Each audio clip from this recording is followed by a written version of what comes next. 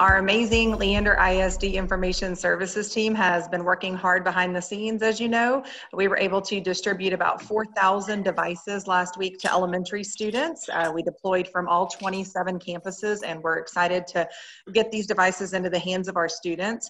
Um, we are, are offering uh, right now at um, Winkley Elementary, a device pickup opportunity until 6 p.m. And then we have another opportunity tomorrow at Reagan Elementary from 3.30 p.m. to 6 p.m.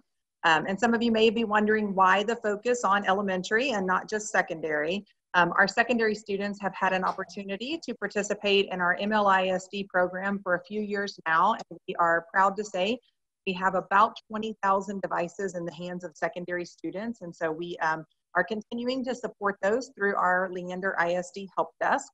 Uh, we encourage any students and staff who are struggling with their technology or just need a little bit of assistance to contact us at 512 570 0506, or they can always submit a ticket online. And we want to send a shout out to our client services team for all their hard work uh, managing all those tickets and making sure that our staff and students are getting what they need.